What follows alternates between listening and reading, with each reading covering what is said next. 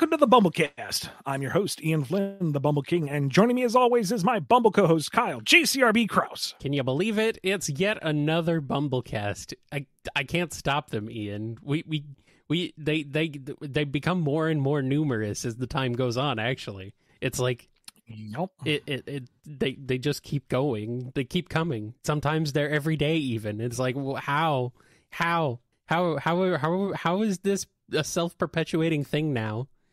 I don't know, but we do not have the luxury of time to question the questions. We can only answer them. Oh, okay, okay. Well, then let's, I guess, start answering some of them because we got a lot. These come from our patrons over at patreon.com slash bumblekast, kofi.com slash bumblekast, and our YouTube members. Let's get started then. Fine. I suppose we can do that.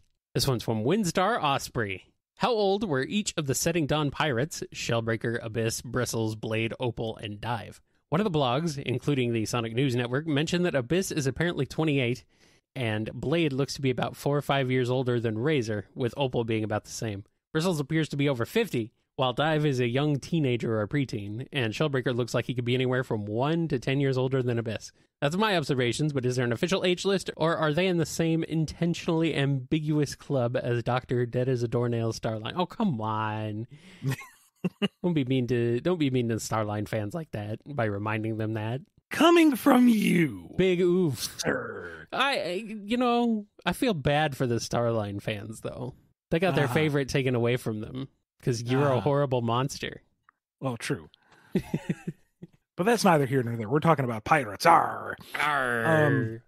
I honestly didn't remember, so I had to ask Aleah, who helped me put these the characters together. Pretty much anything vaguely Meropis related is largely her brainchild. And we didn't have set ages for most of the crew. And I was like, okay, well, I'll just give vagaries. And she's like, no, no, no, no. Vagaries are no good. People want answers. I'm like, "O- okay, so what do we do? So here is the semi-official, can't really argue against it. Put it in the wiki if you want. Names and ages for the crew. Uh, Captain Shellbreaker, we're going to say is 39. Abyss was confirmed as 28. Uh, Bristles will say 42. Uh, Blade 23. Opal 21. And Dive at 19. Alrighty then, sure, it works for me, I guess. I, I can't, uh, I can't argue with that, or can I? I mean, I could, but I don't know why I would. And you could if you wanted to, but yeah. I, I don't want to. yeah, So there. Here's a question from Twilord. If Tom Bombadil and Big the Cat traded places, would anyone notice? Counter question Have you ever seen the two of them in the same place at the same time? Hmm. Hmm? Hmm. big Hmm. jolly fellow appears in places that he shouldn't be unimaginable power incredibly endearing somehow has a huge cult following regardless of having z- almost zero impact on the plot both Hmm. purple i mean come on Hmm. Okay. I, I, hmm. Hmm. This is this is way too much. This is way too con- coincidental. I don't think it's coincidence at all. Dun-dun-dun. who can forget that famous line that tom bombadil says frodo where are you what about Froggy? yeah uh-huh. Mhm. uh-huh. they're basically the same word Basically, yeah. Frodo and Froggy are basically the same person. mm-hmm Mm-hmm. Mhm. Mm-hmm. Small, green, mm-hmm. running into peril, possessing dangerous godlike objects. There you go. I've never seen them in the same room together either. Mm-mm-mm-mm. Nope. Here's a question from the internet person. The newest Tails Tube came out recently, and I'm a bit worried. You don't have to answer this if you can't, but is IDW a parallel universe to the games, or is it still in the game canon world? Still game canon world. Okay, for now, till something changes, because inevitably you know it will, Ian. I'm sorry, but it's true. I have to At point it least out. now I'm on the committee that will see it coming. for now. For now. You won't live forever. Just you wait. I'm going to find the One Ring and swallow Chaos's tail. We'll see who's mortal then. oh boy. Oh boy. Does he know? Does he know? Nobody knows. Things could change in a big in the in the moment. in a flash, in a snap, literally a snap, and all of a sudden, half of Sonic's world is gone. Here's a question from Supreme Psycho. So, possible worlds exist in Sonic, right? But what about impossible worlds? For example, a world where 1 plus 1 equals 3, or where certain things don't exist or things are different. I'd say it can, as it's all possibilities, but what are your thoughts? Can impossible worlds can exist in Sonic? I mean, you can't disprove it. So, could, if that's what you want to believe, sure. Could they? I don't know. There was that world that Cal and Vertical were from. Vert- Al and Vertical. Horizontal Al and Vertical. There we go. Yep. Yeah, uh, that's sort of a weird world. I don't know if it's impossible, but it's definitely a very strange one. But that was, you know, over there somewhere. Very minor regret, but I always wanted to go back to their dimension and introduce a third character, Diagon Alley. Mm-hmm. yeah, yeah. I always thought they were so weird. What I've heard, what I really found weird was not that they were they weren't necessarily weird to begin with, because it was the tone of the book at the time, but the fact Sure. that they got brought back later on was the weird part. did not expect these guys to come back, and I really did not expect them to become giant mech robots and fight each other. Yeah, yeah, yeah, yeah, yeah, yeah. Hmm, that that that's a thing. That's a thing. It sure was. Mm-hmm. Hmm. Yeah. I'm su- just surprised you didn't bring back antibodies. Even I have my limits. you can't tell me you didn't think about it though. oh, I'm sure John Gray brought it up at some point. and I oh, like, I mean, no, obviously. I have my limits. ooh, ooh. Oh well. Here's one from Scurvy Pirate Dog. Time for some silliness. Wait, no, you, you Scurvy, you, you should know this show is nothing but silliness. We all know that one of the things that Knuckles is the most known for is to be the very strong guy. But he's not the only fictional character who's famous for being the strong type. So, just for pure hilarity's sake, what would movie what would Sonic Movie 2 be like if we replaced Knuckles the Echidna with Popeye the Sailor Man? Just Knuckles. Nobody else. Mhm. Everybody else is the same. But we Mhm, replace mhm, Knuckles with Popeye. I think it would be pretty much the same.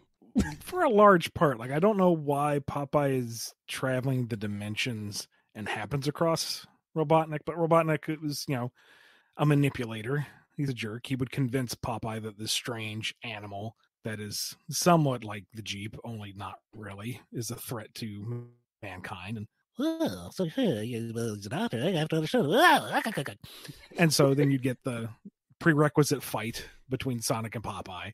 Sonic would manage to get the upper hand. It looks like Popeye's down for the count. Then what's that up his sleeve? Oh, look, No, there's the can of spinach. Oh no! And now you got hedgehog paste. and then uh and then the movie's over. kind of I mean, they would reconcile, of course. Oh. Robotnik would be proven to be the villain. And then uh, you know, we have the big moment where Supersonic catches the Death Egg robot foot and pushes it back, but this time it's just a little too much. Not even Supersonic can stop it, and here comes Popeye. I am what I am, and that's all that I am. Wow, pow! Knocks the whole thing over. I was gonna say punches him out of the into the stratosphere, into space, and that's how we get the Death Egg in movie three. and then for the st- and then for the stinger, you know, you have the big klaxons going off and the steam billowing out, and the capsule with Shadow rises up, and that's when Bluto steps out and goes, "Finally." Oh no! Oh no! Oh, what have we done, Ian? What is this? What is this world turning into? oh boy! Oh, I finally found you. You're a, f- a fake sailor. Fake sailor. I think you're the fake sailor around here. Oh, let me let me uh, make them make you leave those words. Something into Porky Yeah, Pig. I know you're. Yeah, I was gonna say. Now you're going Porky Piggy. You're doing Porky Pig on us. Oh well, it's funny. uh, now I'm imagining Porky Pig as Popeye. That's that's funny right there. I, I am I am I am what I am when I, that, that, that that's all that you- that I am. Mm-hmm. okay, question from Saving Throws. This may be out of your wheelhouse, but even if it's your head cannon, I'm wondering what you think. Jimmy the Motobug the Badnik, the trusted steed of the hard hard boiled heavy rider. How do you think he got that way? Is it the writer's doing, the Phantom Ruby perhaps, or vengeance? um, given that we see a almost hot rod esque version of Jimmy later on, I'm inclined to believe it's Phantom Ruby shenanigans. I don't know if there's an official statement one way or the other, though. I think he's pretty. He's pretty. He's pretty rad. He's pretty cool. I didn't know he had a name though. Mm-hmm. I mean, that's cool. He should. He should come back. I want. I want to see Jimmy again. Here's one from Rock a Million. Can we please have Tails interact with more of the Gamecast aside from Sonic and IDW? I know they're brothers and I love their interactions, but I'm getting sick of Tails never getting to interact with anyone else in IDW. Please let him interact with Cream, Silver Blaze, etc. And I mean meaningful interactions that show off their personalities as well as strengthen their relationships. Yeah, sure. All right. Here's one from Picklyback. This may stem from a misunderstanding of copyright law, but I probably will never know unless I ask, so here we go. Ian, you've stated before that characters originated from the OVA will likely never return because Sega does not own the rights to these characters. There is one thing that commu- confuses me, though, that being the hat that Knuckles wears in the OVA. To my knowledge, the hat originates from the OVA, yet it appears in some current media. Why is the hat clear to make future appearances, but not the characters? Well, here, here, here, I can answer this for you. Plausible deniability. You'll notice the hat does not exactly match. It's not exactly the same. It's just enough, different enough. It's inspired by. I'm more hung up on did I say that the OVA wasn't owned by Sega? Uh, I don't know. I don't remember that, but my memory is garbage. So Nah, I mean, yeah, and there's the whole Q and A list. I uh, could probably go through and look, but I don't think I said that. And if I did, either a I was wrong, or b I've forgotten the reason I was right. But or you meant something else and they interpret it that way, or something. possibly, I, Hmm. They're not. We're not going to see the OVA originals anytime soon because Sega just doesn't want to use them. Right. They don't like to use past incarnations of Sonic. Period. You know that goes from OVA to X to Adventures of whatever. Ignoring classic because that became its own thing because it got super popular and made them money. Yeah, yeah. but uh I think it's just that simple that they just don't want to use them. I would imagine that as a licensed thing, they should have ownership of the characters. I mean, there's another license thing where they apparently don't have a lot of ownership of certain characters, Mm, but I think this is a slightly different situation. I mean, I'm I am no legal expert by any stretch, so I can't say with authority one way or the other. Mm. As for the hat, uh probably even let, let's even for the sake of argument say that Sarah and Old Man Owl and all that is somehow locked behind weird copyright nonsense. You can't copyright a hat. well, you can, but I mean, maybe like the very specific design, but then you can't really use it anywhere else because it goes on Knuckles. yeah, you wouldn't download a hat. What what is the appeal of holding on to the? Depends on the hat. I, I mean, what would be the point of fighting and retaining exclusive ownership of this hat design that can't be used anywhere else? You know, it's ah, and it's as you said, the incarnations of the hat have changed in media. So I don't yeah, know. yeah, yeah. you can't copyright Sonic with a leather jacket. Kyle. Do not shake the bee's nest, please. it's a hornet's nest, you know that. Don't shake the stingy bug nest, please. All right, here's one from Noni. As the least evil slash most good member of Team Hooligan, what is a day in the life of Bark like? I imagine it's full of reading and training and sparring and more reading and training and then turning on every single fan he get his hands on because he's just too bloody hot. Why did he leave the Northern Circle? Ugh. Mm-hmm. Does he is a does Amy is Amy nice to him? Does he hang out with Amy like on the down low? Not he, he doesn't admit it to anybody, but yeah, yeah, I'm sure they're like pen pals or because something. because Amy's nice. Amy's nice. She's nice to everybody, or at least she tries to be. Here's one from Mr. M Turbo. In the final battle with Solaris, the characters state that Solaris exists throughout all of time and space. The three super hogs managed to defeat him, but how exactly could they manage to perform that? Obviously, super forms aren't omnipresent across all of time and space or have the capability of it. So were they only able to defeat Solaris because he broke the timeline in the events of 06? Did Solaris create some strange area of effect around him in that battle that allowed everyone around him to be simultaneously in the past, present, and future? This question really makes my head spin a lot. But you already got it. Like as as you progress through the final story, time is falling apart. Reality is unraveling. And once you get to the final final boss fight, you're in what is left of reality. You are in the miasmic soup that Solaris has rendered past, present, and future. Time is almost meaningless. Uh, okay, but what happens in the game? Because that's what happens when you just when you're the person playing the game. That's what happens to the person playing the game. What happens in the game? That's what are you talking about? That's the story of the game. Oh, I thought you meant like as you play through more of Sonic 06, time starts to fall apart until you end up in some sort of miasmic reality when you get to the end, when you get to the final boss, because Sonic 06 causes reality to break down by being a glitchy mess. It's 2023, man. Ta taking pop shots at those sixes, janky nature is a little stale. It's okay. I, I, I get what you're going for. I do. I really do. You tried. You tried. Gold star. Uh huh. Don't patronize me. Unless you're going over to patreon.com slash bumblekast. If you didn't, I would. All right, here we go. Mini hats. If Sonic can run so fast and is always traveling, then hasn't he been everywhere there is to see on Earth by now? Will he ever get bored of visiting Green Hill at least six days a week? I know I am. Um, the world's a big place, and there's only so much ocean he can run across before, you know, he either falls in or some random orca tries to eat him. So I imagine there's still some places he hasn't gotten to by virtue of he just hasn't been there yet. Or if it is anything like me on the Breath of the Wild map and looking at charting your course and it's like, oh, I went back to this exact same spot 20 freaking times, but I didn't even touch that acre over there. Why not? So and he's not like constantly traveling. He takes time to relax. He takes time to chill out. He gets distracted saving the world and fighting Eggman. So, and he's only like nebulously teenage. That's only so much time. hmm And hating Green Hill Zone is like wanting Shadow to die these days. so old, it's old hat. I say as the person who wants Shadow to die.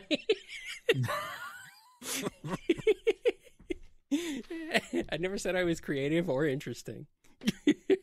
But you're consistent. I will give you that. Yeah, yeah, yeah. I only want him to die because it would be better for his story and better for everybody else. All right.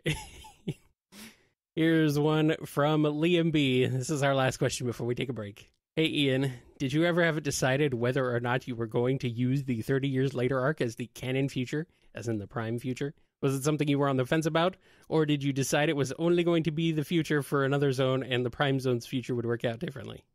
I never intended X years later to be the prime, the official future, because it makes no narrative sense to do that. You lock in future events and characters and Yeah. completely rob the present day of any peril or intrigue. Sure, there's a question of how do you get from point A to point B, but we're not reading Sonic the Hedgehog for him in his golden years. We're reading Sonic the Hedgehog for Sonic the frickin' Hedgehog. Never mind that the approval process for that in the long term would be a nightmare. Setting, So, yeah, yeah, yeah. Go ahead. Everybody except for one individual was in agreement that it was a possible alternate future type thing. Yeah, it, there's really no reason to do that for a perpetually ongoing licensed book. Like that was the whole thing. Like it- it's not like you're going to ever actually get to that point anyway, so it doesn't make a difference. But that's just me. Now, if this was like someone's original story, like their personal project, that narrative conceit could be used in a really interesting way because you would see things in the future and you would see things in the present and wonder, okay, how do you get from point A to point B? And then anything that was nebulous in the future, like a character being absent. Like, does that mean that they don't make it in the present? If they are in danger now, does that mean they're not there? And then they survive, and it's like, okay, well, then where are they in the future? And that would make an interesting bridge between the two. But you can't do that with a licensed book because you don't have control of the characters or even the narrative tone perpetually. You know, post uh, adventures era, things got rather silly for a bit. Mhm. And thankfully, I don't recall Sega ever being like hard handed on, you know, you have to match that tone in the comics, but it would have been within their ability to do so. Right. So we we have we enjoy a fair amount of latitude with the Sonic book, but at the same time, you have to be aware of what you're working with. It's not your stuff. You're playing with somebody else's toys, and you have to be respectful of that. That's right. You should know. Should know. Take it. Take that to heart, folks. If you're gonna play with someone else's toys, be nice. On that note, we're gonna take a quick break. We'll be back with more on the BumbleKast.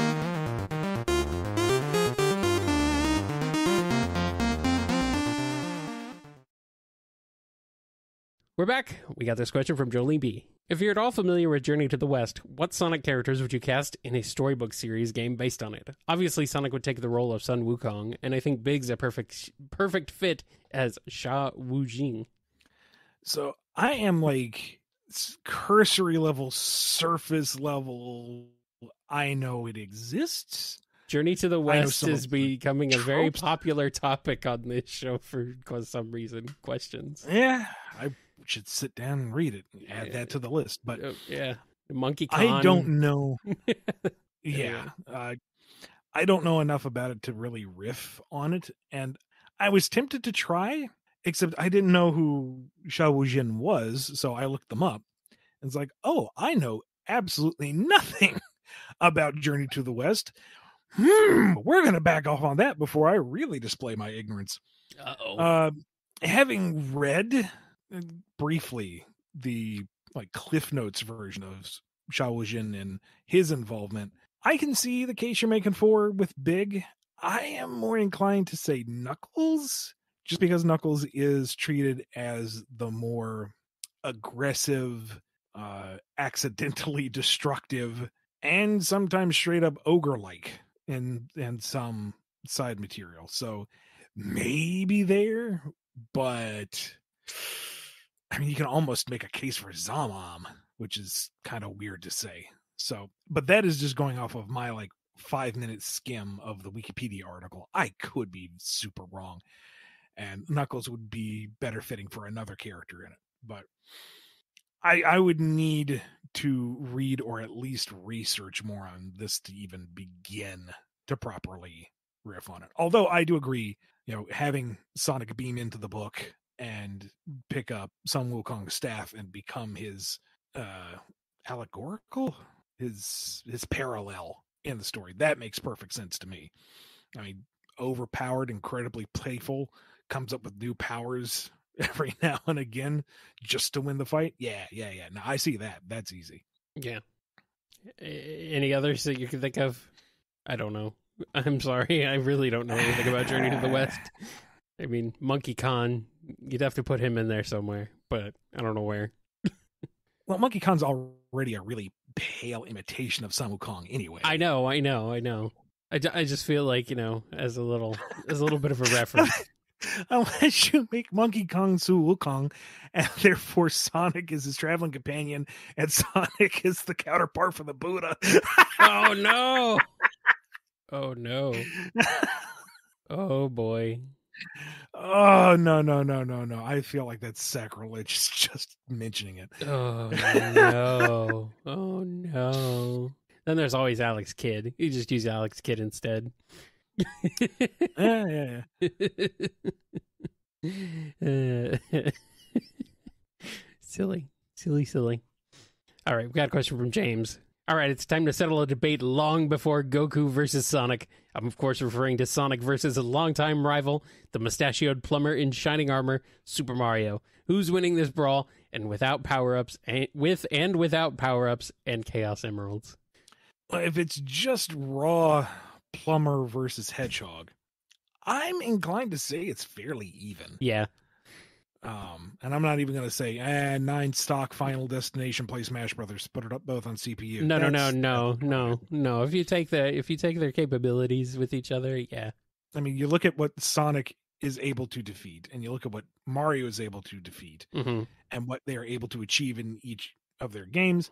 I, I could almost see it coming as a stalemate. That's that's a rough fight. That's going to be toughy. hmm Uh, if we're talking power ups, Mario, Okay. because Good.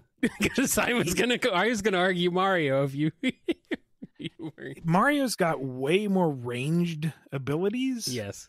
and depending on which incarnation, he gets at least two hits once he's had it. hmm Whereas Sonic gets a shield, which gets like a hit. Now it might be able to absorb some of the abilities. You know, I could see them rifling through different powers in a running battle, but I think ultimately, I mean, unless you're counting wisps as powers, but even then, Mm. that's just barely bringing Sonic into parity. I think Mario's got a better arsenal. So Uh, my argument was basically Sonic needs to go through at least seven trials, tribulations, and everything to get the Chaos Emeralds to go super. He needs seven of them. Meanwhile, Mario just has to pick up the basic first power up in his that he ever encounters, and he's immediately super because he's you know Super Mario. The first one you ever encounter is the mushroom. That's what I mean. Uh, oh, I see what you're. That's- you're doing the wordplay thing. That's what I mean. He becomes Super Mario. Ah. The first thing, the very first thing he does when he gets that mushroom, he turns from Mario into Super Mario. Ah, Uh huh. Ah. Yeah. So I think it- more towards your point, though. All Mario needs to do is grab a superstar, and it's brief, but he's going to absolutely obliterate Sonic. And then now, Son- if Sonic has the emeralds, he's he wins. Like even Superstar Mario is going to only have a few seconds versus Sonic's minimum of fifty seconds. It's it'd be a glorious clash, but Super Sonic I think wins without really much of a debate. So quick breakdown. Here's your death battle stats. Regular fight, I call it a tie. With items, I'm giving it to Mario. With Chaos Emeralds, it's Supersonic all the way.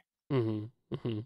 All right, now you go argue in the comments down below about how wrong Ian is and how he doesn't give Sonic enough credit or enough power, and how that answer is boring and lame. And then we'll just carry on. Invade Turbo Tunis has a question. So, on the recent Tails Tube episode, the multiverse is officially a thing in the mainline canon now. That's good to know, and a great excuse to make the everything is canon quote, well, canon.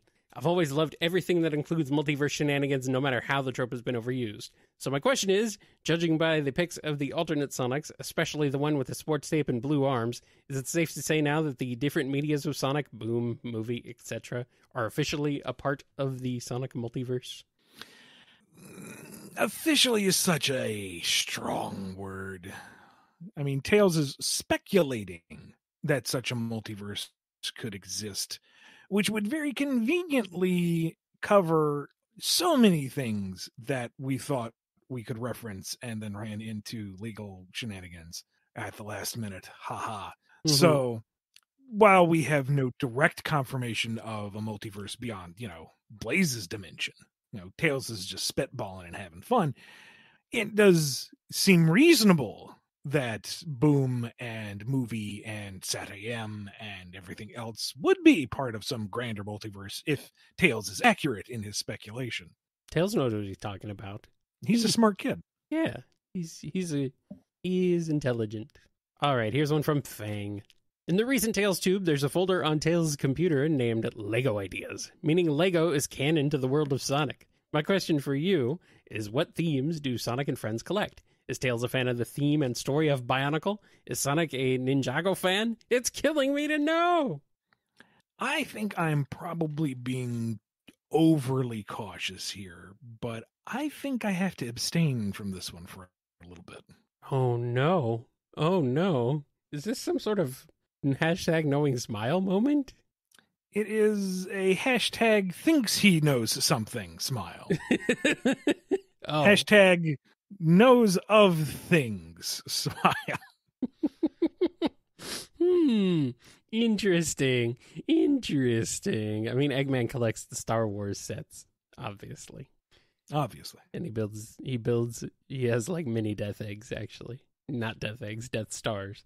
Well, no, they are Death Eggs because he changed the, the design because Oh, you yeah. can do that with Lego. Bisonicles. That sounds like something. That sounds like something M. Bison would come up with in Street Fighter the movie. Bisonicles. Thank you. Thank you for that. Here's one from Dove. Ignoring combat, unless you want to talk about it. After all, it's your show. Who created the best robot? Dr. Light with Mega Man, Dr. Wily with Bass, Dr. Eggman with Metal Sonic, or Mr. Tinker with Belle? All seem to have some level of awareness, so which is the most impressive bot? I would argue Rock. Yep. Out of those, mean- yeah. Like Bass certainly has his own personality and motivations, but he's also very focused, I guess is the kindest way to put it. Yeah.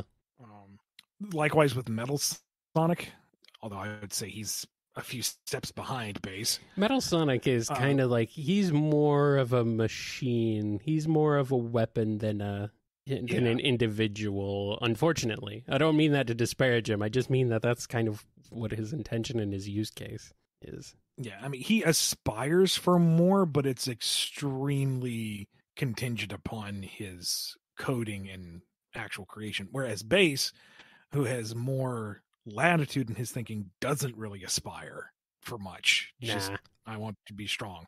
Belle is the closest, I would say, because she is her own fully realized individual hmm but Mega Man is working against the rather hard and sometimes ambivalent rules of robotics and is trying to grow and is pushing the limits of his programming in such ways that he can help others and become more than what he is while also not really deviating from his core programming. He's walking that fine line of doing more but not violating what he is. hmm And that I think is the most impressive thing. I mean, if we're really going to get down to it, Proto Man's more impressive than all four of them because he broke away from his coding anyway and he's still doing his thing. Yeah. He's like rock but cooler, which is basically what he was designed to be. But that wasn't the question.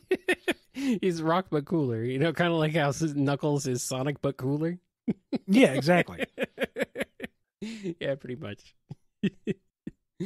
uh, but Belle is the most adorable out of all of them. Oh, by a country mile. Yes, as she should be. Yes, but definitely, yeah, it's Rock. It's Mega Man. Here is one from Domino. I mean, they're, they're all, uh, okay. Hold on, I'm going back to that one real quick. They're all adorable, guys. They're all adorable, but I mean, Belle is the most adorable. So there. all right. Here we got a question here from Domino. If Sega eventually makes Sonic Adventure 3 and it's set in a modern story, I feel like the game could have some trouble explaining characters like Shadow, as well as characters and settings that were introduced after the Adventure series. If you had full control over the game's story, how would you go about making it feel connected to the previous Adventure titles? Well, here's the thing the adventure titles don't exist in a vacuum. There's been 20 something years of story in between that. They are the kind of beginning of that, but the modern era has continued. You can't just ignore, you know, the Rush games or Heroes or 06 or any of that just because it isn't the adventure games. If you prefer one narrative over the other, one style, one focus, that's your own thing. I can't, you know, argue that. But you can't just like throw out whole sections of modern Sonic because it doesn't fit the adventure style. just ain't how it works. So if we get an adventure three at some point, it's just going to be the next chapter in the modern era story. And if we're returning to places, then it's going to be new to new players and it's going to be familiar to older players. So what you do is you find the happy medium is characters being familiar with the terrain. All you need is like an expository line of dialogue. Oh, hey, we have been here in a while. And there you go. the the new players understand that this is somewhere that the characters are familiar with and are returning to. And the older fans are like, oh, yeah, I remember that. Here we go. And that's it. Now, if Shadow shows up to do his thing, we don't have to have a long introduction of, oh, hey, Shadow, you're this half alien hybrid thing that was put in stasis for 50 years and tried to blow up the Earth. It's, hey, Shadow, what's up? "Mm, I'm grumpy. And there you go. You have the dynamic established. Pretty much. Yeah. Yeah. It's it's hard to balance that. I I definitely get the the desire to go in and explain who these characters are, but a lot of times you really just don't have to. It's not really necessary. But like, let's look at Frontiers, since that, that is the most current example. right. And you know, somebody new to the game has no idea what the Starfall Starfall Islands are, or if they've ever been there, or who Amy, Knuckles, and Tails are, and what their relationship is to Sonic. So his interactions with each of them informs you who they are and what their connection is. So Sonic sees Amy. He is deeply concerned about her condition, being trapped in the weird cube ball thing. So you understand that he knows her, he cares for her to some degree, and wants to rescue her. So they clearly have a positive connection. As the story goes on, he is increasingly worried about her overextending herself in her ghost like form. And she's saying, I don't care about my safety. We need to protect all these others, which tells you how selfless she is and how concerned he is for her. Mm-hmm. Likewise with Knuckles, you have them kind of constantly picking at each other and tossing backhanded compliments or little snide remarks. But then the minute Sonic is in actual peril, Knuckles is going to punch a kid in the face to save the blue boy. that tells you that you know they're bros, they're tight. They will you know bicker till the sun blows up, but they will always have each other's back. It's informed through the story. And then their interactions will get to the point where it almost feels like you're trying to make them actually into something more than just bros Ian. but you know. I mean that was pretty funny. When when that came up i'm like you know yeah yeah yeah i i, I yeah i see it. I get it. I get it. I really do uh nah they're brothers man. Sonic and tails and sonic and knuckles. Yeah they- they're they're they're up man. They're bros. They're both willing to punch kids.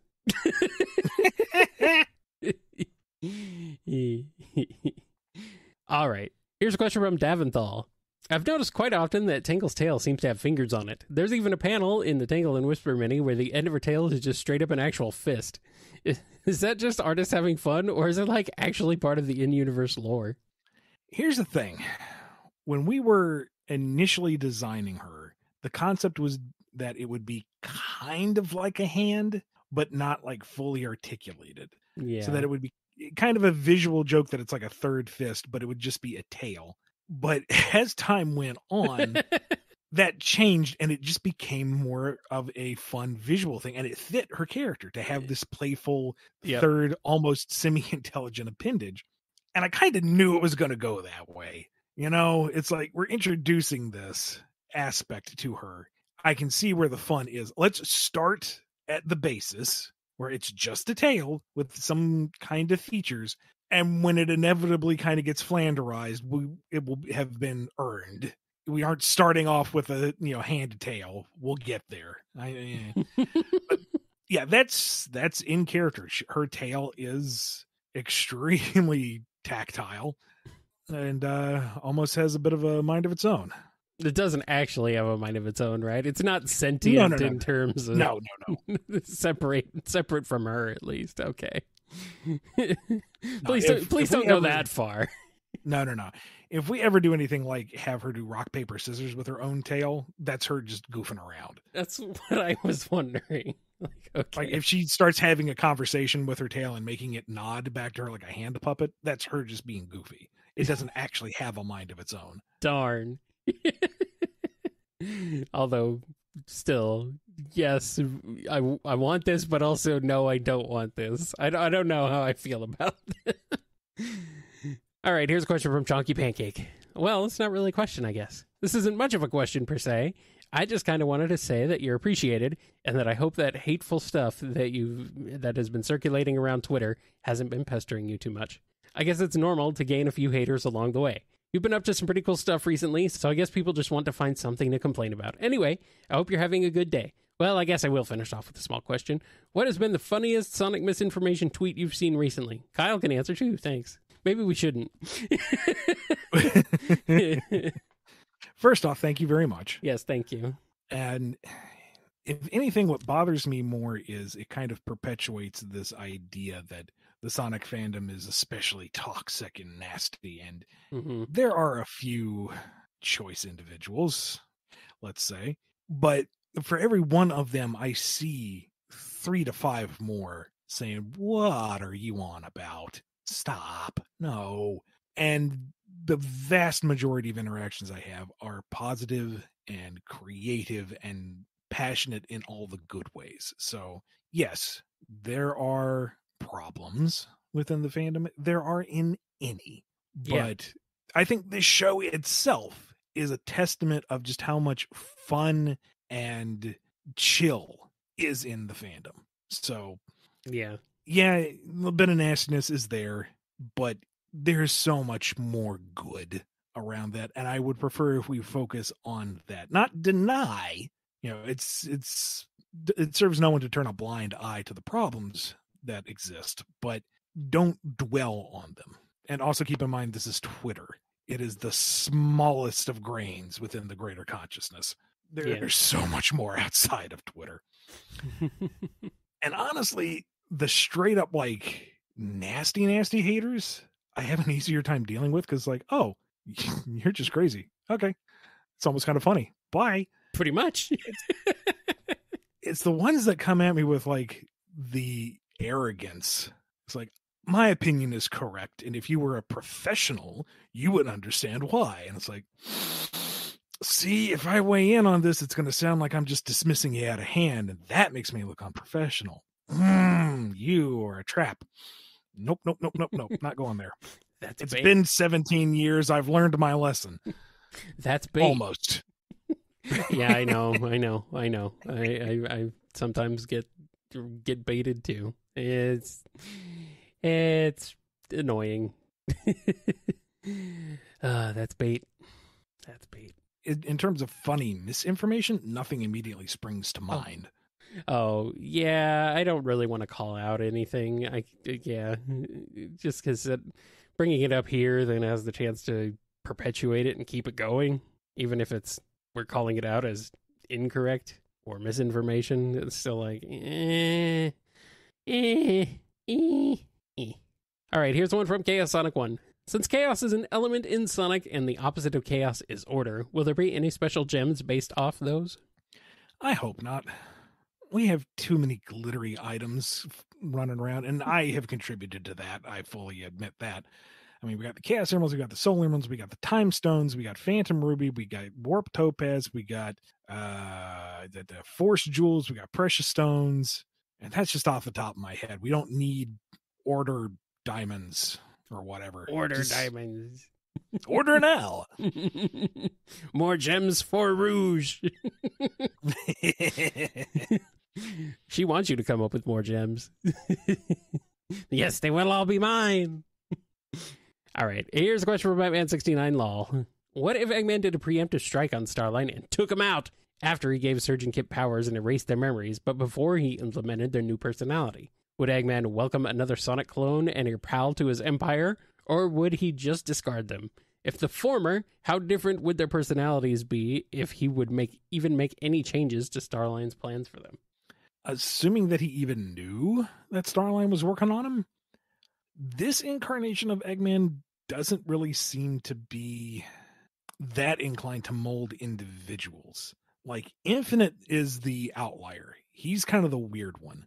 And you know what? Maybe that is the you know the example. And he's like, well, Infinite was a bit of a dud, but if I could do better with these two, hmm.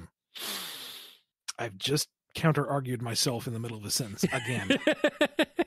I, I, This I is don't like- know. This is like Tangle playing rock paper scissors with her own tail. I'm arguing with my own brain. I don't know if he would Uh, care because if he dropped a bomb on Starline, he probably would have ended up dropping it on Surge and Kit at the same time too, just by sheer collateral po- damage. possibly. So I don't know if any of them would have survived.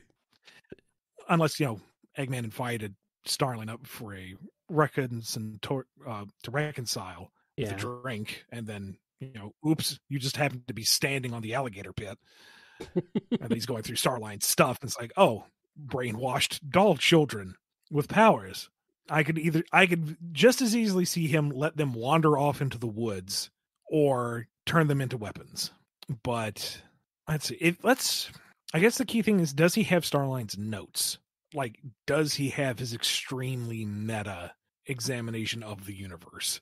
Because I could see him finding some appeal in creating another anti-Sonic to some degree. Like Metal Sonic is the you know cold driven killer but here's somebody else who could do it on kind of like a squishy fleshy side of things. That may that might be fun for a laugh. I don't know. Hmm. i think there's a, a few ways you could approach it and all of them are appealing. Hmm. i just i i the thing is i don't see eggman being as personally manipulative. He he isn't that he doesn't have the finesse for torturous things like that. He is very big and bold you know, he took over the Deadly Six with the conch, which is just, you know, blow a note and cause them to have an aneurysm. There's no like, you know, he's not toying with their sense of self. He is not demeaning them on a personal level. It's just you're at a line, beep, shot collar. the um, ultimate brown note. oh God. Ah. and even with Infinite, it was like, you know, huh, you're this crazy nihilistic dude. I could snuff you out, or I could plug some crazy doodad into your chest and make you into a living weapon. That's fun. Go kill Sonic for me. He's very direct, so I don't know how much programming he would do with Surge and Kit unless he did just like whip up some code and just straight download it into their brain. So it would be less manipulation and conditioning than Starline did, but it would certainly may be more effective. Starline sends week spends weeks trying to groom these two into the perfect weapons, and Eggman's like, eh, 30 minutes of code. There, you hate Sonic.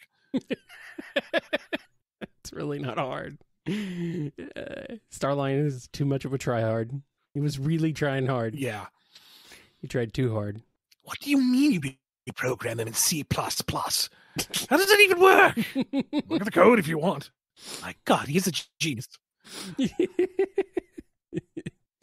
uh, come on, Ian, get with the times. It's not C plus plus anymore. It's like C sharp. I'm serious. He- he I think that's what it's called. Uh, he's, he's doing uh, retro coding because they're retro style. They're based off the glitch characters. There. Oh, okay, okay, okay. It- It's Well, another they- meta joke. No, no, no. That's then- all I know how to do. No, then they should. Well, yeah, but then, they,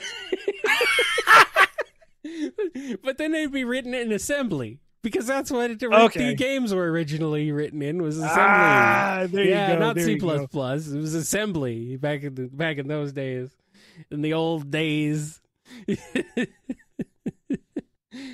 oh man! Apparently, assembly really sucks too. Oof. All right, here's one from Andrew D.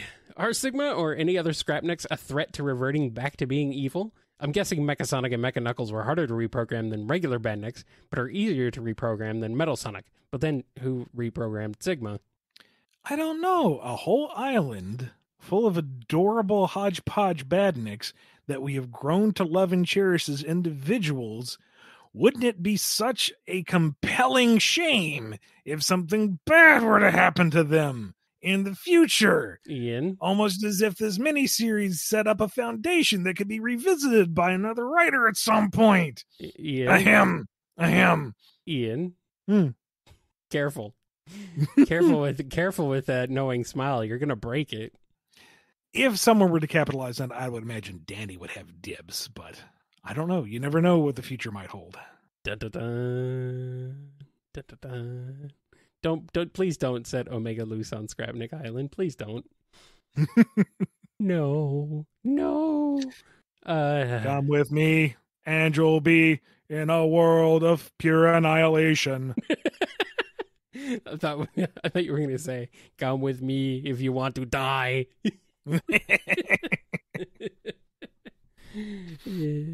All right, one last question from Alpha Mod or Yukon. Crossover Time, Tangle, Whisper, Jewel, Surge, Kit, Mimic, Rough, and Tumble have been turned into the new roboticized masters. What kind of gimmick stages and master weapons would they utilize against the Blue Bomber?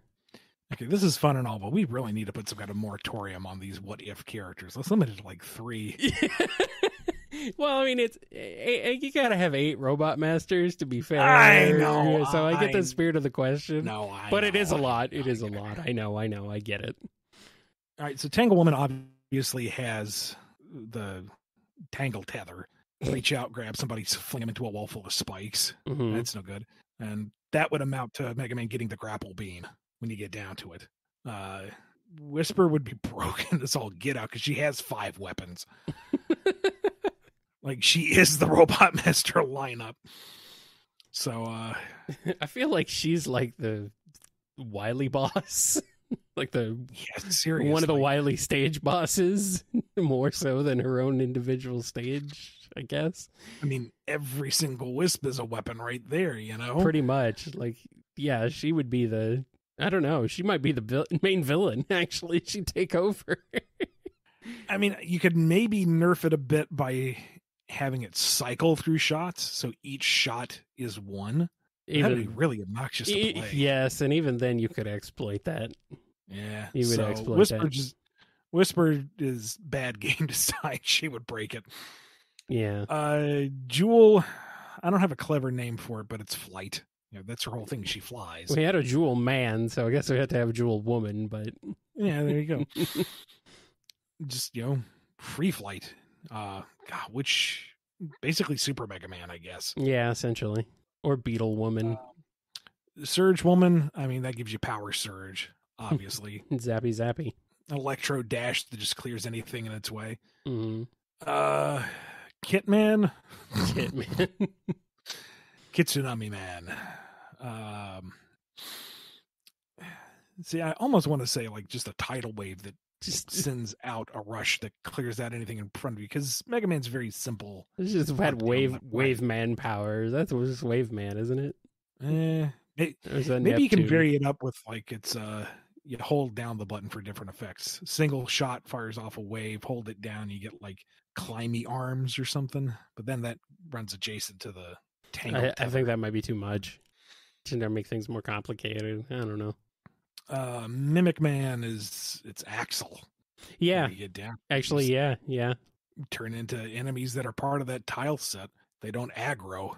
There you go. Uh, And then for the big finale, you turn into whatever wily boss is up against, and you just have the two bosses fight each other. and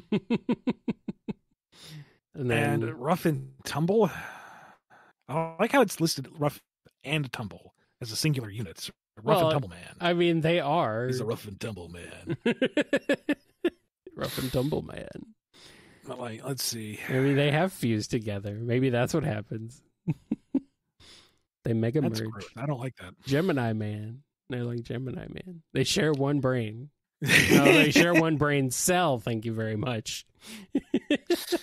so like the thing is they do have very different move sets. Like they were envisioned to be like mini bosses. right. and Rough is the more nimble one, and he's got the cloud that he generates, the purely nondescript, non bodily function cloud. Of course. what would that even be as a power? Like, you don't really, unless you can, like, maybe it would be something that's not really great for stage use, but it's good for bosses. You pump out a few toxic clouds and they cause damage over time. hmm Whereas Tumble's ability, like just a straight up big fisted double lariat, would be easy to clear out minor enemies around, but like ridiculously impractical against bosses. hmm That'd be a nice trade off between the two. Hmm, maybe, maybe. Toot toot Rockman Warrior. Oh, God. Hmm. Mhm. I've actually seen some Robot Master designs of uh of some of the characters, and they're like really cool. I like the ideas. So I'm glad that that legacy continues. Yep, very cool. So that's going to wrap us up for this episode of the BumbleKast. But before we go, we need to give a big thank you to all our patrons over at patreon.com slash bumblekast, kofi.com slash bumblekast, and our YouTube members. Big thank you to Daniel H., Jennifer R., James K., John B., Robotnicombe, Sam Cybercat, Samuel P., Torchbound, Mike B., Andrew D., Dave M., Salucha Cat, J. Frost, Coupland Crew 128, Noni, Do As Dizdin, Hero of Life 13, Professor Scruffy Matt, Chris A., Sony, Triforce Riku, John N, Sonic, Sonic, Sonic, Scurvy Pirate Hog, Jib, Ben Wolfsbane, Lisa M, Lee HK, Invade Turbotunus, Arc Fighter, Chevelle, Keeper of Monsters, Axis, Twilord, Xander, Running the Painter, Z Broadcast, Chaos Sonic 1, Starlight Sec, Tick Tick, Jonathan D, The Disgayan, Ink thinks the name is X, Cameron H, Slayer Stain, Nimmer Godzilla, Nandal, Jolene B, Yuma221, Ava Arctic, Dove, Just a Mountain Soul, Justin S, Nova Poly Duo, Daddler, The Dalek, Alex GS, Joshua S, Sonic Legacy, Jennifer H, Pedanticat, Les, Red the Supernamic, Alphamon, or you can chat, Omega Watch, Jack the Animator, Wildcard 717, Mancher, Jay the Redneck of the Stars, and Tails, Angela V, DeRusseville, Mabius, Genzel, Preston M, Indabin, Sammy S, Noah M, Kojiro Highwind, Awesome Cakesters, Supersonic Fan, Miles the Prower, Navarre, Exidal, Agent Kaz, Radry, Sonic 84, Puppy the Scholar, Chase L, For Sonic Fan, Tetsuya the Wise, Rhythm Raccoon, Domino AU, Wheelie Doe, Sandra B H, Pig Dan 20, The Marble Gardener, Aiden S, Oz Jam, Shimmy M, Quirly Quills, Smiley 21 in Zephyr Sterling Sonic Philip is Cold. Congo Windskull Supernova Superior Pizza Sonic Padge Subliminal Gino the Puppet Miggy Sawdust Thick Off Crooker Vlad E200 Paragon Razor The Crucified Devil Loop De Loop Omega Man 21 Thievius Dominic the Raccoon Planet Breezy Lemur Chicken Venus Bleeding Thumbs 97 Luke R Unity Kedrian Lori L Jason G Cody G Michael P Nils Illegal Chow Fights Miss Nizumi SB My Fish Eats Rocks The ID Card Philip C Jonathan F. Hip Kid Brick Levi C. Amazing Samuth S. Dead Air OK Cheesestick Adrian W. Zaylock Nebula Noob Lacey M. Lucky Lychee Spiral Knuckle Sandwich 87 Tetsu Knife Raccoon Shinobi Normal Person Marcy H. Caswell Mr. Moida Boyd the Giant Moida, Moidalizing Boyd Morless Pickley Pack M. Blewett Native Nerd 27 Miles Full Prower Cool Christy 1 Ultra Guy Crabo Salato 02 Noob 600 Sonic Mania 2099 Hadronis Paley Ashter Tender Heart Fawn Liam B. M, Mr. M. Turbo Loose Rocco D, Sheen, Noah I, Emmy, Quezel J, Guts, Jihan S, Snow Pair, The Man of Multimedia, Fluffy93, Mr. Snippy, Call Me Ryan, All Peachy, Jamal S, Wheels 282, Hedgehog, Metamode, Frost the Hobbit Danny the Light, Buttered Noodles, Miles Per Hour D, L, Technopada, True Cosmic Digilevs 79, Sound Blister 16, Travis H, The Internet Person, Saving Throws, Mini Hats, Devonthal, and Tyler M. Thank you so much, everybody, for your incredible support and the fact that there are so many freaking names on that list. Are we gonna have to come up with some other way for to to shout out folks? Are we just gonna have to do like maybe once a month or whatever? Something we'll have to figure out for them. I don't know, man. It's a Uh, lot. I'm still remaining conscious while I read these. We'll cross that bridge when we come to it. okay, if you insist. People are suggesting that we make the titles scroll, that we make the names scroll on the video, but it would only be in the video version, guys. What about the podcast version where you don't have a video? Hmm. Anyway, Be good to yourselves, be good to each other, and we will see you next time on the Bumpcast. see you in the next one. Nobody listens to podcasts anymore, says Desrak. Uh huh, says you listening to a podcast. All right. Well, that's gonna. Yep. Are you gonna end up the show? Am I wrapping up the show? Who's wrapping up the show? I don't know. I, I, I think we're on a slight delay here. Quite possibly. Quite possibly. If you're at all familiar with Journey to the West, I, I can't talk, I swear.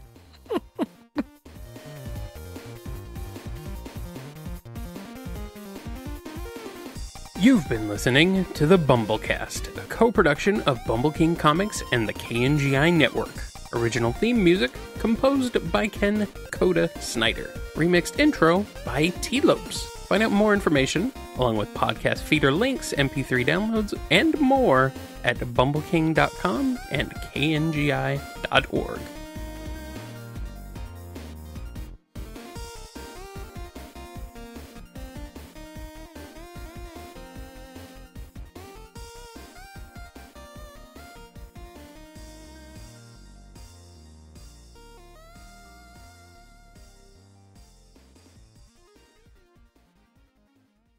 Way to leave me hanging on that 06 one, dude. I'm sorry. I was legit confused what you were getting at. Yeah, I know. I know. I guess I and was then as you being- as you explained it, you started twisting further and further in the wind. It's like, ah, well, that's the funny part of the joke. I'll just let it go. Oh, okay. Okay. I You- gave you enough rope. You gave him yes. Then I tied it around my neck and jumped. Be our pinata Kyle. Yeah. Spill all the laughter candy. Oi, oi, oi, oi.